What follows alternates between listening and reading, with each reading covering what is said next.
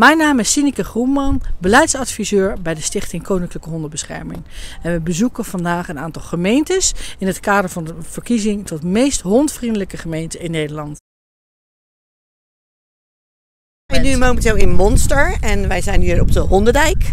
En dat is een afgeschermd stuk, eh, eh, st- stuk dijk, zeg maar, waar je je hond makkelijk eh, los kan laten lopen, zodat hij niet weg kan lopen. Ja. En dat is voor hoop mensen natuurlijk wel fijn en prettig. En het is ongeveer bij elkaar, als je heen en weer loopt, van drie kwartier. Oké, Dus dat is een mooi eh, stukje om te lopen. Dus u komt speciaal voor de Hondendijk.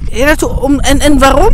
Nou ja, ik vind het fijn dat mijn hond elke dag heel even los kan lopen en kan rennen, zijn energie kwijt kan. Want weet u of er nog meer hondenlosloopgebieden zijn in de gemeente Westland? Eh, ja, je mag bij het Prinsenbos mag je je hond los laten lopen. Eh, ik ga ook wel eens naar Hoek van Holland, maar dat is dan natuurlijk eigenlijk weer gemeente Rotterdam natuurlijk.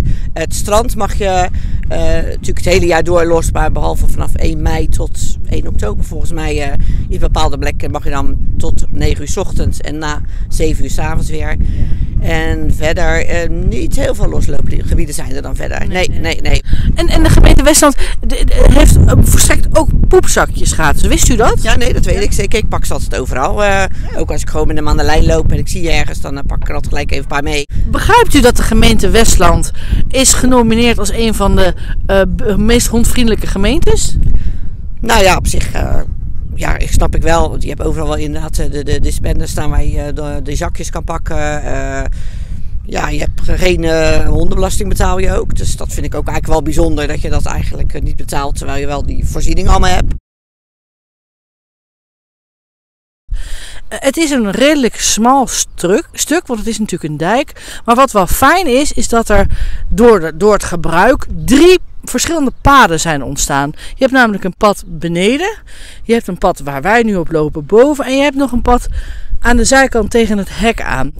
Nou, wat, wat daarvan fijn is, is dat als je dus een hond hebt die een beetje bang is voor een bepaalde hond die je aan ziet komen. Of een, een groep honden, want er lopen hier ook wel groepen honden, wat eng vindt. Kun je ervoor kiezen om bijvoorbeeld op het pad onderlangs te gaan lopen. En dan ontstaat er een soort natuurlijke barrière. Namelijk dat heuveltje is een soort natuurlijke barrière voor honden. En dan kunnen honden er dus voor kiezen om wel of geen contact met elkaar te maken. Door naar beneden te lopen of naar boven te lopen. Maar hoeven ze elkaar niet, zoals bijvoorbeeld op dit pad, ehm, ehm, frontaal tegemoet te treden. Ik eh, kom uit Rijswijk. En, en waarom komt u nou speciaal vanuit Rijswijk in Westland wandelen? Omdat dit een omheind eh, gebied is en omdat het wat langer is om eh, los te lopen. En dat, dat heeft uw hond nodig? Ja, hij houdt heel erg van rennen.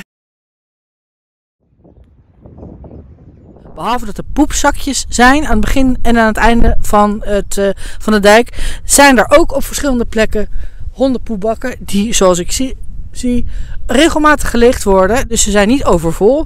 En wat ook een voordeel is van deze hondendijk, is dat er altijd water beschikbaar is. Weliswaar een slootje, maar het is stromend water. En er zijn ook een paar natuurlijke strandjes ontstaan, waardoor honden eh, geleidelijk het water in kunnen. En daar wordt ook regelmatig gebruik van gemaakt, hebben we al gezien, eh, door de honden op de dijk. Waar zijn we hier? Bij de Wollebrand. En wat is de Wollebrand?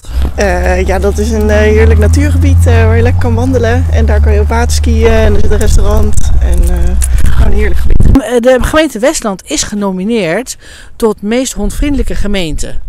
Vindt u, snapt u dat? Begrijpt u dat?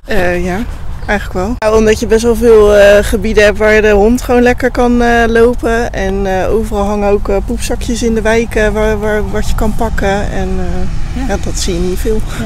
En, en, en komt u alleen in dit gebied of ook op de andere gebieden wel? Nee, ik kom maar overal wel eigenlijk.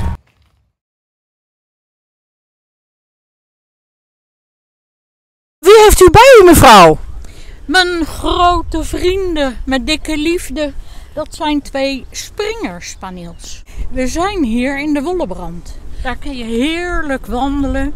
Zo lekker. Je kan je beestje loslaten. Helemaal super.